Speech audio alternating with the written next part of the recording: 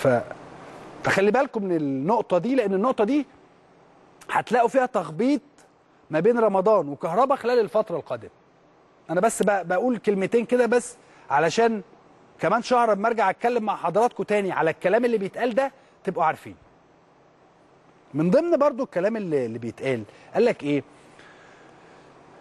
تذمر عنوان قد. قد.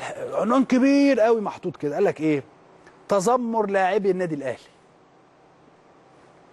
تقرأ تخش تفتح وتقرأ العنوان أو تقرأ اللي مكتوب في الصفحة أو تسمع الإعلامي اللي بيتكلم أو آه تشوف إيه اللي بيتقال. تفتح كده يقول لك إيه؟ أصل لعيبه النادي الأهلي وبعدين إيه؟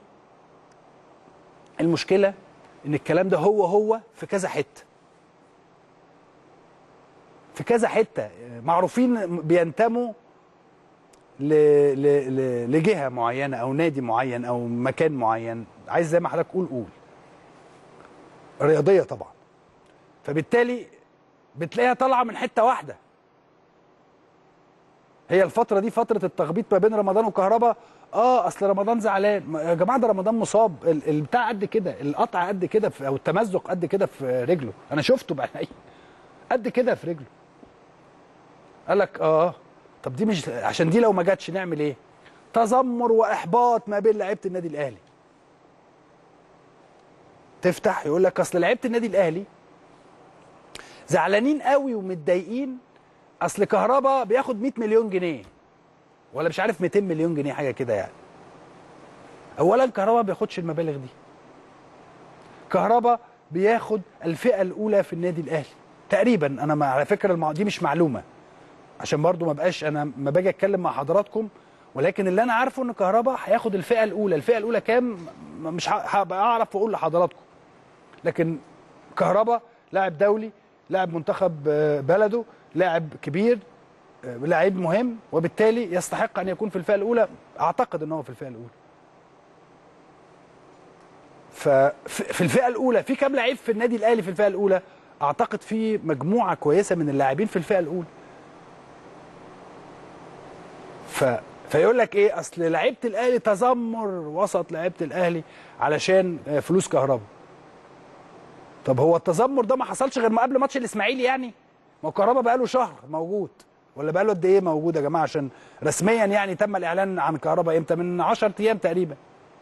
الجمعة اللي فاتت. هو من الجمعة اللي فاتت ليوم الاربع النهارده آه، آه، ما كانش فيه تذمر. هو التذمر فجأة ظهر يوم الاربع الصبح قبل مباراة الإسماعيلي اللي هتتلعب الخميس؟ ولا إيه؟ كلام مش منطقي كلام مش مظبوط كلام بعيد جدا جدا عن الصراحة كلام بعيد جدا جدا عن المنطقية اللي أنا دايما بتكلم فيها مع حضراتكم.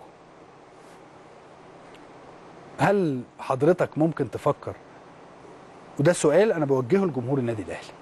هو هل من الممكن إن حضرتك تفكر إن في لعيب مش هقول رمضان لعيب أو لاعب داخل النادي الأهلي ممكن تفكر حضرتك إن هو يعمل نفسه مصاب عشان ما يلعبش عشان لعيب زميله تاني جه مكانه؟